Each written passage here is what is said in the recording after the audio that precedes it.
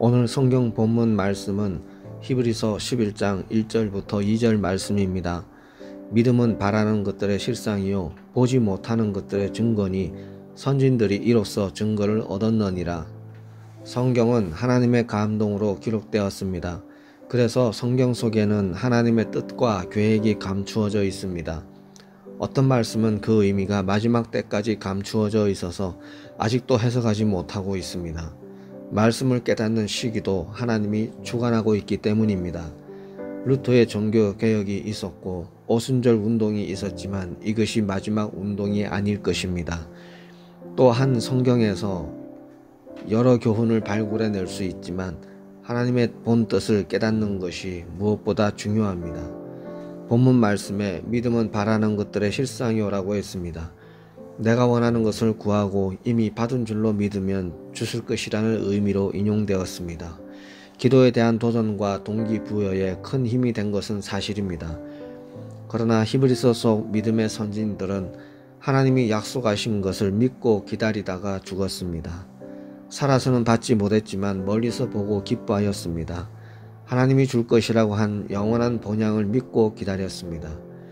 그들은 하나님이 주겠다고 약속한 것이 무엇인지 확실히 알았습니다. 단순히 이 땅에서 필요한 것이 이루어지기를 기다린 것이 아닙니다. 우리도 하나님이 기뻐하시는 존재가 되려면 하나님의 뜻에 합당한 믿음과 소망을 가져야 합니다.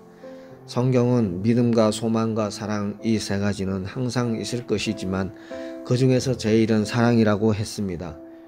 그래서 믿음도 사랑도 중요한 줄 아는데 소망에 대해서는 깊이 생각하지 못하고 있습니다. 확실한 믿음은 강력한 소망을 동반하게 되어 있습니다. 마치 오늘 저녁에 복권이 당첨된 것을 알고서 내일 그 현금을 찾기까지 가슴을 졸이는 것과 같습니다. 소망이 간절하지 않다면 믿음이 없는 것을 증명하는 것입니다. 우리는 정말 하나님의 나라를 원하고 있는지 자신을 돌아보아야 합니다. 우리는 무엇을 믿고 있는가? 정말 받기를 바라고 있는가? 하나님께서 내게 주신 믿음은 있는가? 세월이 갈수록 기본 신앙을 점검하고 강해져야 합니다.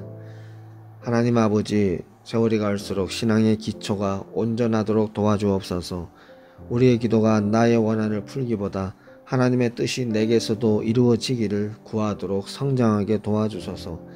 믿음도 소망도 하나님의 뜻대로 점검하여 주소서.